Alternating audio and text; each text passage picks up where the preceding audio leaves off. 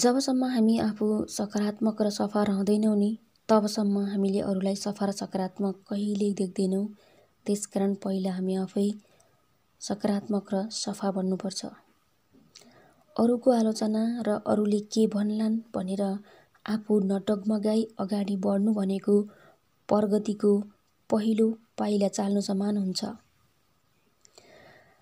निद्रा र मृत्युमा यति फरक छ। निद्रा आधा मृत्यु हो भने मृत्यु भनेको पुरा मरण हो।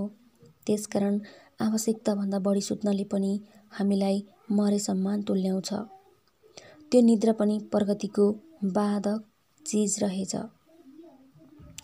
राम्रा मान्छेहरू टाढैबाट चिनिन्छ तर धोकेबाजहरूलाई भने नजिकबाट पनि चिन्न गाह्रो पर्ने रहेछ।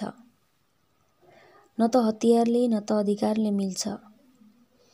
दिलमा बस्न त माया र प्रेम चाहिँदो रहेछ।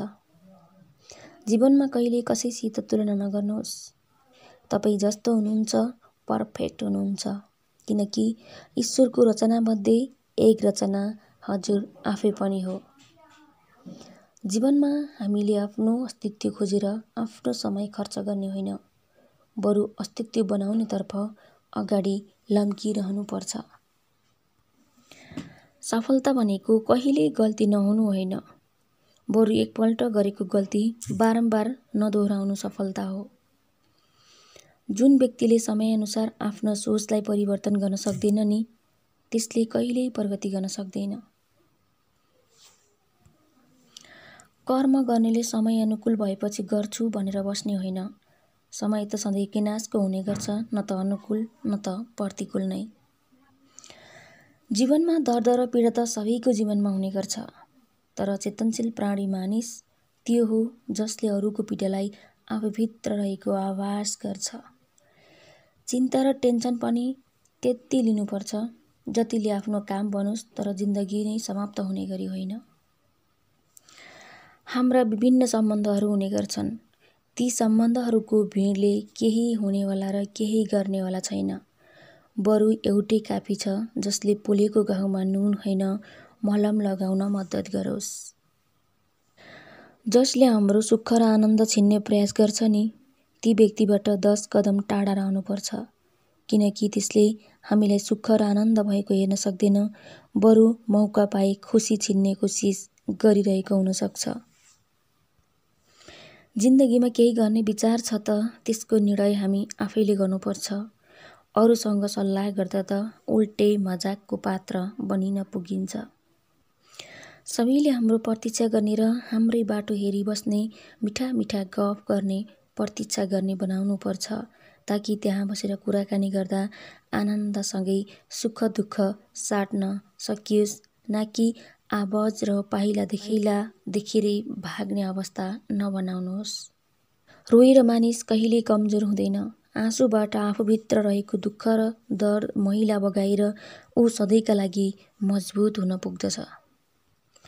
रिप्लाई गर्न त गाह्रो मान्नेहरूले समस्या पर्दा के सही गर्लान् र त्यो त हामी आफैले अनुमान पनि त गर्न सकिन्छ। माफी भन्ने शब्द त गल्ती हुँदा मात्र प्रयोग गरिन्छ तर धोका दिनेलाई होइन। धोकामा पनि माफी दिने माफी दिन थालियो भने माफीको समेत इज्जत रहँदैन। मानिस कति बेला परिवर्तन हुन्छ त्यसको कुनै पत्तो हुँदैन। त्यसकारण हामी सधैँ अरूको भरोसामा रहनु पनि आफैलाई खतरनाक हुन्छ।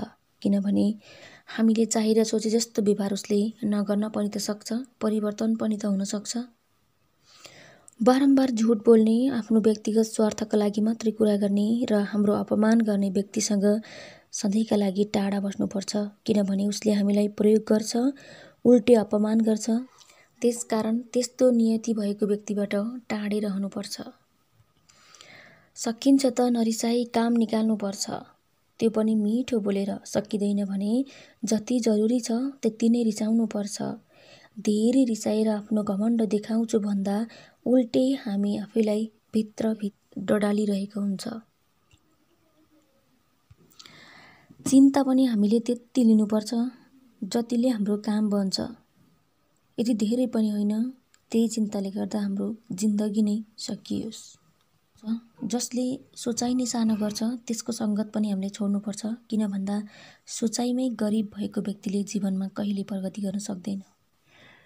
धन्यवाद हजुरहरूले कहाँ कहाँदेखि सुनिरहनु भएको छ कस्तो लागिरहेको छ जस्ताको त्यस्तै प्रतिक्रिया दिन चाहिँ नभुल्नुहोला।